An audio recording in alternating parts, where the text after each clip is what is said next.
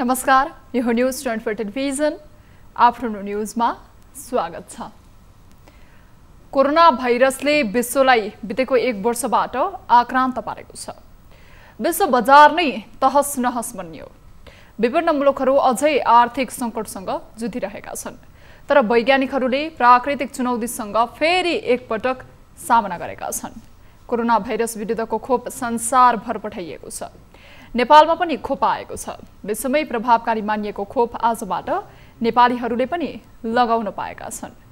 प्रधानमन्त्री केपी शर्मा ओलीले आज भर्चुअल माध्यमबाट खोपको शुभारम्भ गर्नुभयो। विश्वसँगै यो आम नेपालीका लागि खुसीको कुरा हो। अब आफ्टरनुन न्युजका हेडलाइन्स। प्रधानमन्त्री केपी शर्मा ओलीद्वारा कोरोना विरुद्धको खोप अभियान सुरु। पहिलो पटक सरुवा रोग अस्पतालका निर्देशक डाक्टर सागर राज भण्डारीले लगाए खोप।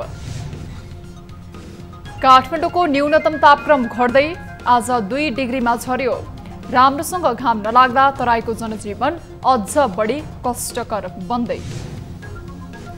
साताको चौथो दिन आज नेपाली बजारमा सुनको मूल्य घट्यो।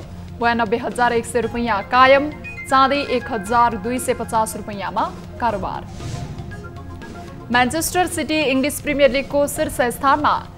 वेस्ट ब्रुमलाई पाँच शून्य गोलन्तरले पराजित।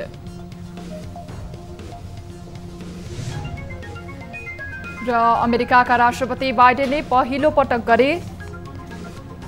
रुसका राष्ट्रपति पुटिनसँग कुराकानी आफूलाई हानि हुने कुनै पनि काम नगर्न कडा चेतावनी।